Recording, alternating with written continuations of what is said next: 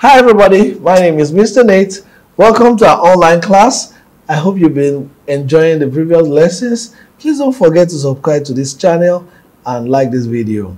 Today we are going to be talking about the elements of the computer system.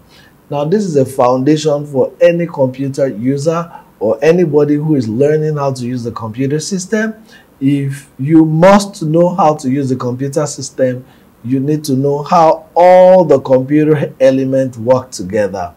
Now, today, like I said, we'll be talking about the elements of computer and what are the learning objectives at the end of this lesson.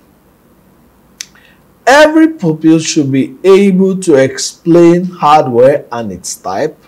You should be able to explain the humanware. You should be able to explain software and its types. You should be able to mention the types of softwares. You should be able to install system and application software. And then you should to highlight various ways of caring for the computer system. So what is the component of computer system or the element of computer system? Now the element of computer system is, is mainly categorized into four. Now we have the hardware, we have the humanware, we have the software, and we have the um okay so sorry not three not before. So the element of computer is categorized into three. We have the hardware we have the software we have the humanware all of these parts work together to make a computer system. Now the first one i want to talk about i'm going to drop my slide but I'll, just for you to understand better, we're talking about the humanware first. Now, the humanware refers to the computer user, you and I. Anybody who can use the computer system is referred to as human as a humanware. So if you can use a computer system either at professional level or at basic level, you are a humanware you are a humanware if you can use the computer system at any level at all. Now, the computer system cannot work except a humanware it's operating it. That is why the computer system is not complete without a user. Now, aside that, there is also a need for us to talk about the hardware because the hardware represents all of the parts of the computer system that you can see and touch. All of the parts of computer system that you can see and touch, that is the hardware. And when we're talking about the hardware, the hardware are grouped into four. Namely, we have the input devices. The input devices are the computer parts that help us to send information into the computer system, like the scanner, like the light pen, the keyboard, the mouse, the microphone, the joystick, and the light pen, they are all input devices. Now, let me give you an example. Let me explain with three of the examples why we refer to those computer parts as input devices. For instance, if you are typing a document using the keyboard, all the letters you're typing is shown on the screen, which means that whatever you are typing is directly entering into the computer system. So it means the keyboard is an input device because it takes in all the letters, the numbers that you type. Another example of input device is the microphone. If you are speaking to the to the microphone on your computer system, the microphone takes your voice into the computer system, then the sound comes out from the speakers. So the microphone is the one that takes in the sound. The speaker is the one that brings out the sound. So the microphone is an input device. The last but not the least example that I want to talk about is the joystick. When you are playing game using the joystick, you know that whatever thing you press, whatever action you press on your computer system, on your joystick, it goes into the computer system. That is why the joystick is referred to as the input devices. Now, which other part, which other type of computer, eh, of hardware do I want to talk about? That is the output devices. The output devices are the computer parts that brings out information from the computer system. Example is the monitor.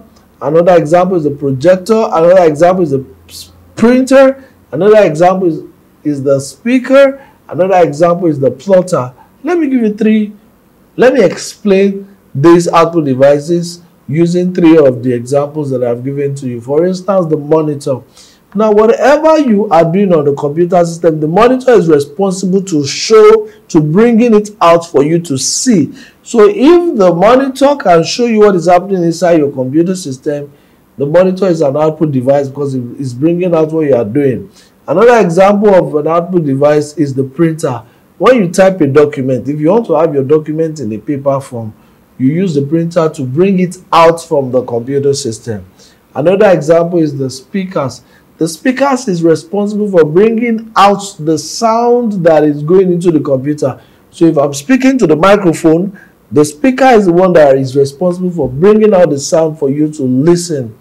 A good example of, you know, this, another good example of um, the output device is the projector. The projector also works just like the monitor. It brings out information on the computer system. Now, let's talk about the third hardware. The third hardware is the processing device. There's just one processing device and that is the system unit. The system unit is responsible for controlling every activities of the computer system. Now, the last but not the least hardware is the storage devices. The storage devices basically help to store information on the computer system. Now there are different examples of storage device. We have the flash drive, we have the compact disc, we have so many of them. So um, those are the hardware examples of, of hardware types of hardware. Now what are the, the what like I told you before that human humanware represents the computer users and I told you that anybody can be a humanware. If you work in the bank and you use the computer system, you're a humanware. If you work in the hospital, you work in different companies, architectural company, building company, and you use the computer system, you can be referred to as the as a human way. And there are different career opportunities in the world of tech for children who are interested, who love tech. I like to tell you that there are so many opportunities for children or there are so many opportunities for people in the world of tech It's career opportunity for those who wants to go into programming. You want to build games, you want to build websites, you want to build different apps. There's a career opportunity for people in the engineering world who wants to build computer system hardware. Those who wants to repair the computer system, there's a great opportunity for children. There are so many opportunities for children, web designers, software engineers, network engineer, data management expert. There are so many ex so many career opportunities for children who wants to become professional human web. Now, the last thing that I want to talk about is the software. Now, the software is also a part of the element of computer. Don't forget that we talked about three elements of computer system. We said the hardware. We have discussed the hardware. I told you also about the humanware. We've talked about the humanware and different career opportunities. The last one I want to talk about is the software. Now, if we have a humanware, somebody who can use the computer system and all the parts of the computer system, which are the hardware, if there is no software installed in the computer system, the computer system cannot work. So the software is just like the life of the computer. It's just like the life of the computer. Without software, computer has no life. And there are different two examples of software. We have the system software and we have the application software. Now, I'm briefly going to explain the two and then in our next class, we will learn how to install both the system software and the application software. Now, the system software basically is the most important software that the computer system needs to work. So if you buy a new computer system from the market, if there's no system software installed on your computer system, the computer system is useless because you will not be able to do anything on your computer system. So the first thing you do is to install the system software to your computer system. I'm sure a lot of you cannot do that.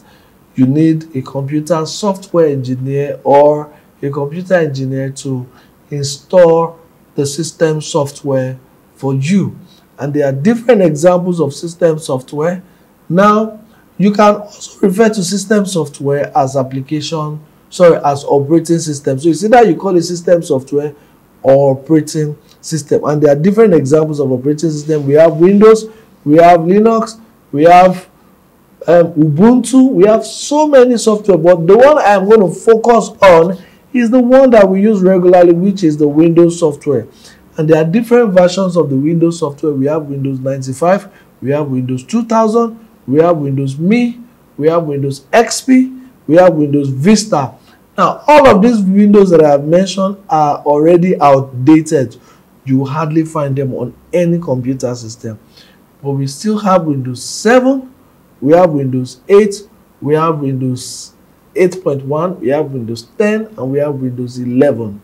You can easily find any of these windows on a computer system. Now, these windows help the computer system to work effectively. Operating system help or Windows software helps the computer system to recognize the mouse, the keyboard, the joystick, the scanner, the monitor as one computer. And then it helps them to work together in order to perform just one particular task. Do you understand? Now, there is another type of software that is the application software. The application software basically helps us to do our daily activities. So if you want to type, you need an application software that can be used for typing, which is a Microsoft Word. You want to play a game, you need the game application. You want to watch film, you need a VLC player or a media player to watch your film. You want to draw, you need applications like Paint, like Corel Draw to draw, or like Scratch. So these application softwares are the softwares that we use for our day-to-day -day activities. So basically, these are the things that we need to learn in this class. When we meet next week, I'm going to explain to you or teach us how to install both the system software and the application software on our computer system. Sorry, today we really don't have hands-on session, but there's a quiz activity for us to do at the end of this video. But by next week when we meet, we have the hands-on session. So see you in our next class, everybody.